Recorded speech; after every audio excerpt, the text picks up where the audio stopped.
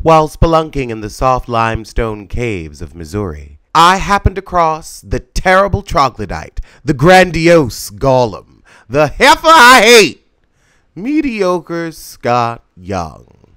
Apparently, she likes the cool, acidic pools the caves have to offer. They help with dryness when she sheds her skin in the summer. I really couldn't believe I was seeing this lying lizard in the flesh and scales.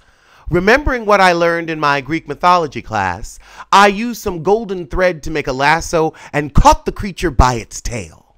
With an angry, raspy growl, she shifted into human form, and now my thread is tied around her thumb. How did you know that this golden thread is the only magic that can control me?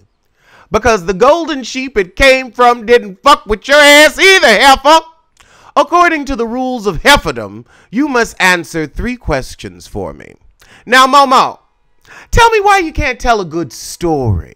Monster Scott Young glumly replied, Because that's the only kind I know how to tell. When the bottom fell out of the music industry, I hadn't saved much, but I had invested in a Kennedy's Fried Chicken in Yonkers. I used free food and my connections with out of work cameramen and security to turn love and hip hop into what it is today. Okay, my next question is this baby Kirk, or did you rent it for a plot line? Boy, if you don't watch the show, I'll revert to my Komodo dragon form and eat you. Okay, okay, Mona. All right, all right. Last question. When you laid the egg to hatch Yandy Smith, did it hurt?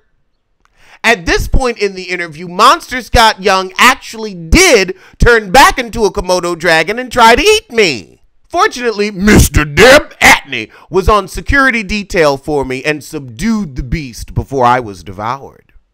This is a sample of what you'll be getting on the Rodgers Report. So I'ma see you soon for something. So tell a kin, tell a friend, tell that heifer you hate.